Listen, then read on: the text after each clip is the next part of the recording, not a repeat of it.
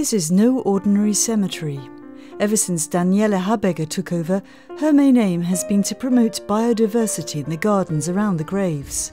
Der Friedhof ist eigentlich einmal ein sehr monotone, typische Friedhoflandschaft gewesen. This was once a very monotone, typical cemetery landscape with closely cropped lawns and neatly planted graves.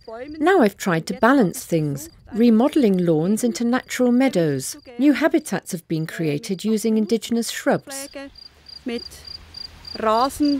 What looks a bit like stony waste ground is actually a sanctuary for lizards, salamanders, and slow worms. And there are hives for bees tucked out of harm's way. You might think the wild look is easy to maintain, but you'd be wrong. Es wird sehr, sehr viel von Hand gemacht. A lot of the gardening is done by hand. We don't use any chemicals, and it's about the same amount of work as with a regular cemetery.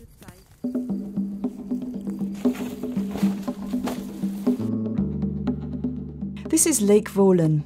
It was created when the local electricity company dammed the river to produce hydroelectric power. The Lake Wohlen Conservation Society, with its small army of pensioner volunteers, has been doing its best to encourage wading birds to make their homes here. We have been promoting reeds because they, they, they used to be quite uh, thin. There were many trees in it that caused shadow, and so it didn't grow that well. So we have we have been uh, promoting that by taking out all the woods for, for several years, and now it, they have become very thick and and uh, and harbor many bird species. Hier haben wir einen, einen, einen Bach. This is a stream which used to have concrete banks to make it completely straight. We renaturalized this by removing the concrete and creating a natural bed. The river is much more free now to flow into the lake. It can move more.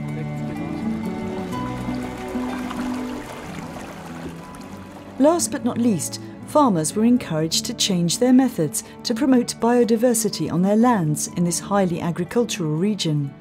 Es gab einen Richtplan Landschaft. There was a development plan for the countryside, which allowed us to give farmers compensation, to encourage them to do more to promote nature.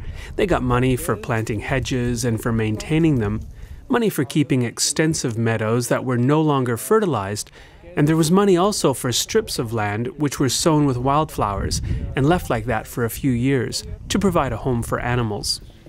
For instance, the red backed shrike, which has now made its home in these hedges. On Fritz Sali's organic farm, there's a pond containing natterjack toads, a protected species.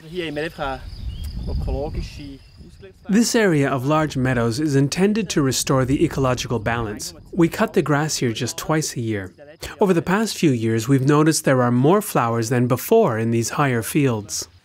So, over the past decade, Wohlen's huge commitment to promoting flora and fauna has paid off. The WWF has awarded it with the annual Biodiversity Prize, praising it as a role model for other communities to follow. I think they did more than any other community for biodiversity. They have such a broad field of activities. The WWF invited delegates from other communities around Switzerland to visit Wohlen and see what can be achieved. Hopefully, it'll encourage them to develop their own biodiversity programs.